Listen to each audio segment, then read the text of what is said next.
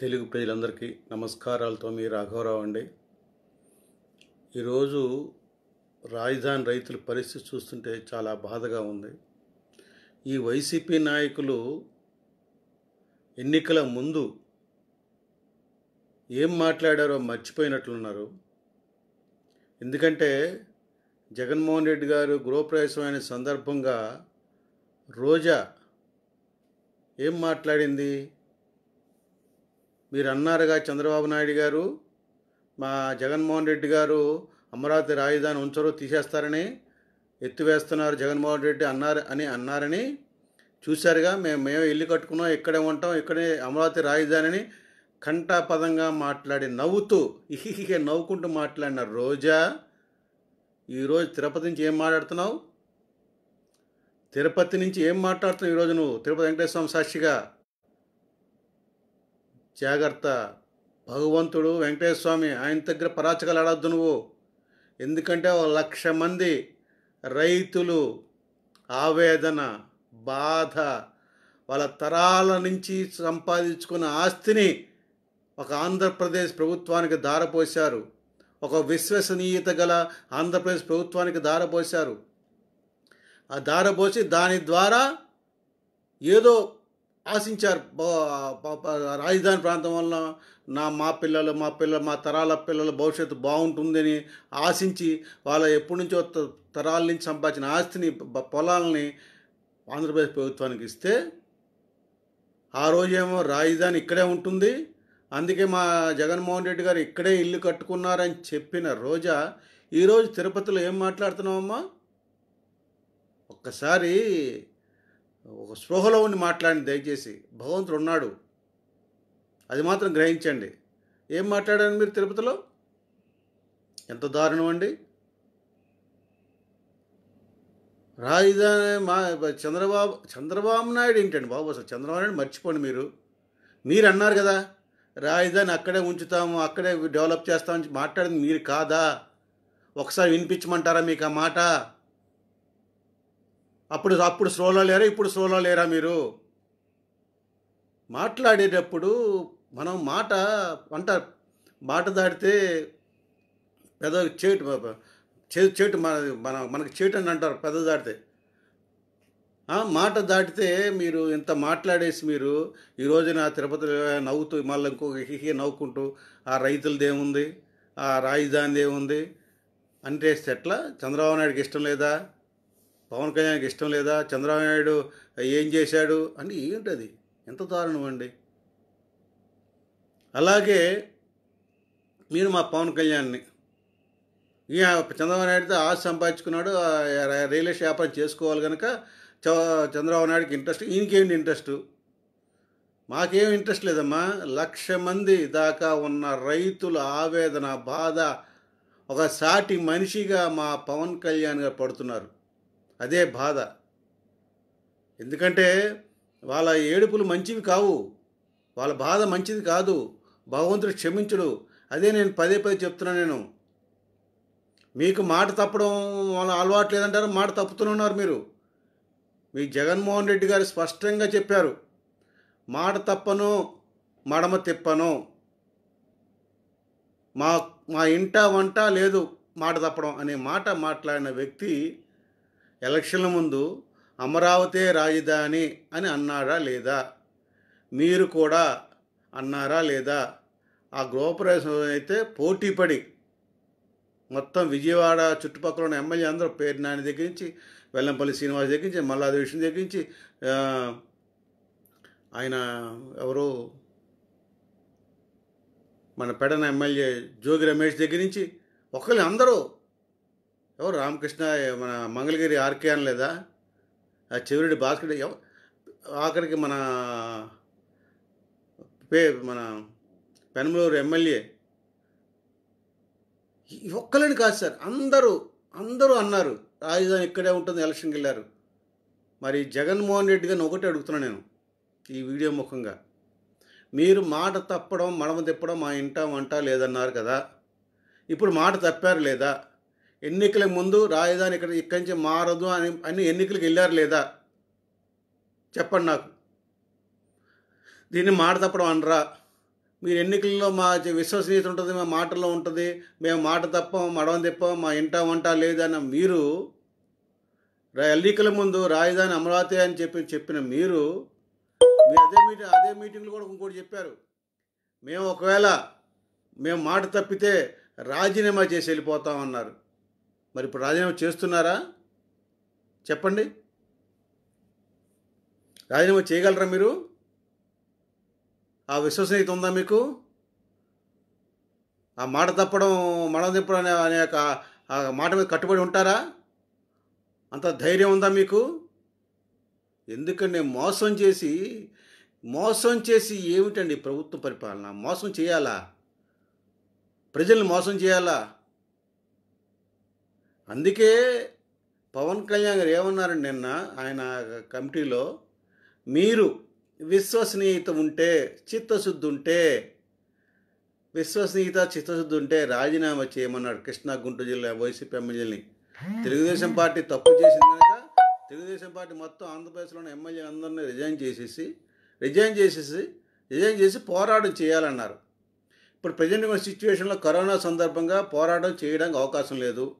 ఎందుకంటే పోరాటం చేయడానికి ఎవరైనా ఇంటి నుంచి బయటకు వస్తే వెంటనే అరెస్ట్ చేస్తారు మీరు. అందులో డౌటేం లేదు. కాసు కూర్చున్నారు. ఎవడో రోడ్డు మీదకి వస్తాడో వాడిని అరెస్ట్ చేసి లోపలేద్దామని. ఎందుకంటే కరోనా సమయం కనుక ఇది కర్ఫ్యూ ఉందో వన్ ఫార్టీ ఫోర్ ఉందో ఇది కంటైన్మెంట్ జోన్ లేకపోతే రెడ్ జోన్ ఏదో చెప్తారు మీరు. ఆ అవకాశం మీకు ఉంది ప్రభుత్వం మీది కదా.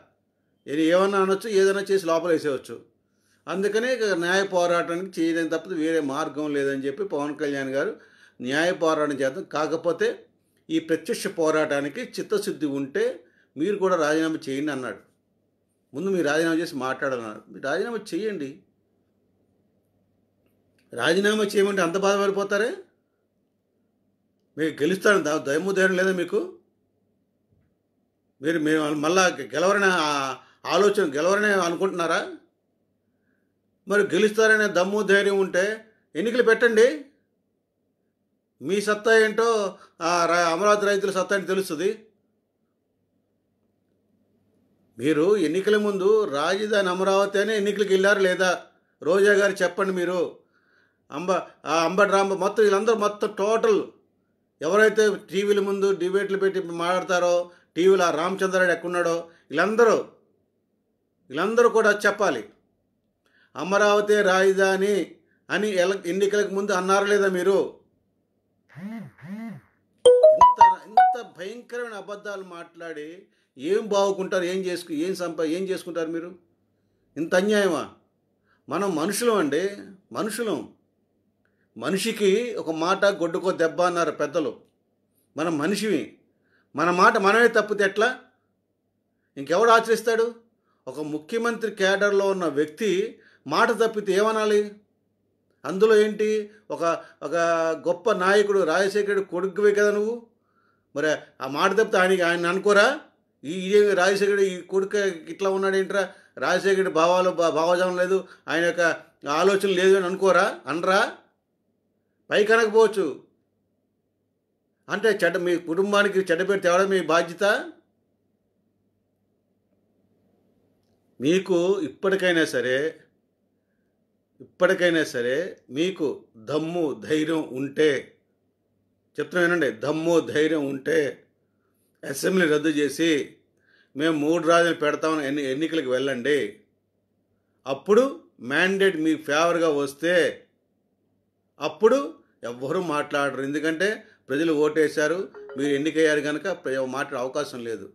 మీరు ఎన్నికలకు ముందు అమరావతి రాజధాని చెప్పి మరి ఎన్నికలకు వెళ్ళి ఓట్లు వేయించుకు గెలిచి ఇప్పుడు ఇట్లా మాట్లాడుతున్నారు. ఇది సత్యం. కావాల్సిన మీ వీడియోలు అన్నీ ఉన్నాయి. కావ వినండి ఒకసారి దయచేసి. దయచేసి ఇంకోసారి నేను మాట తప్పను మడమ తిప్పను అనమాకని జగన్మోహన్ రెడ్డి గారు. మా ఇంట వంట లేదు విశ్వసీత మా మా ఇంటి పేరు. ఈ మాటలు మానేయండి ఇక. మీకు అది వర్తించవు ఇక. మీరు చెప్పేది ఒకటి చేసేది ఒకటి. అర్థమైపోయింది. మీ మనసులో ఒకటి ఉంటుంది బయట ఒకటి మాట్లాడతారు. అదే ఈ అమరావతి రాజధాని ఇష్యూ. అమ్మ రోజమ్మ మా పవన్ కళ్యాణ్ గారు చెప్పింది ఏంటంటే విశ్వసనీయత చిత్తశుద్ధి మీకేమైనా అమరావతి రాజధాని మీద అభిమానం ఉంటే మీరు ఎన్నికలకు ముందు అమరావతి రాజధాని ఉంటుందని చెప్పి ఎన్నికలకు వెళ్ళారు కనుక మీరు రాజీనామా చేసి పోరాటం చేయండి అని అన్నారు. లేదు ఎందుకు రిజైన్ చేయాలంటే మీ ఇష్టం అది. మేము చెప్పేదేం కాదు. రిజైన్ చేసి వెళ్ళండి.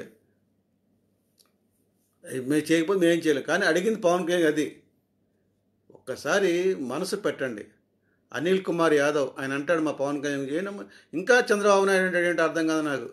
కన్ఫ్యూజన్ ఉన్నాడట ఎవరు కన్ఫ్యూజ్ బాబు? నువ్వు కన్ఫ్యూజన్ ఉన్నావు. నీకేం మారుతుంది నీకు దేంట్లో అనిల్ కుమార్? నీకేంటంటే మీరు చే మీరు ఎందుకంటే మీరు మాట తప్పేశారు మడమ తిప్పేశారు మీ మాటలు విశ్వసనీయ లేదు. అబద్ధం అబద్ధమే మీ బతుకులు. అంతేక అబద్ధమే మీక నిజం లేదు ఇక మీ నోటంట. అంతా అబద్ధమే. ఇంకా మీరు మీరు మీ- మా పవన్ కళ్యాణ్ ఏమంటే కన్ఫ్యూజ్ ఏం కన్ఫ్యూజ్ పవన్ కళ్యాణ్కి ఆయన ఫస్ట్ నుంచి అదే మాట చెప్తున్నాడు అమరావతి రాజధాని. రైతులకు అన్యాయం చేస్తున్నారు అమరావతి రాజధాని. మాటకు కట్టుబడి ఉండాలి. రెండు వేల పదిహేను నుంచి మొత్తుకుంటున్నాడు. ఇంకా ఇంకెంతగా ఏం కావాలి? కన్ఫ్యూజ్ అంటే అర్థం కాదు. మీరు కన్ఫ్యూజ్ అవుతూ ఏకే మాట్లాడే చేతగాక మాట్లాడేది ఏం లేక నోటుకు వదిలిస్తే ఏదో ఒకటి మాట్లాడేసేయాలి అంతే. అనిల్ కుమార్ యాదవ్ గారు ఒక్కసారి మీరు మంత్రి అండి. మళ్ళా నాలా ఒక సిటిజన్ కాదు మీరు. ఒక మంత్రి మంత్రిగా మాట్లాడండి దయచేసి. ఇంకా మంత్రి ముఖ్యమంత్రి గారు మాడతారు మీరేం మాడతారు కానివ్వండి. మొత్తం అందరూ ఎవరైనా సరే వైసీపీ నాయకులారా మీకు మీకు దమ్ము ధైర్యం ఉంటే ఇంకోసారి చెప్తాను దమ్ము ధైర్యం ఉంటే మొత్తం అసెంబ్లీ రద్దు చేసి ఎన్నికలకు వెళ్ళండి.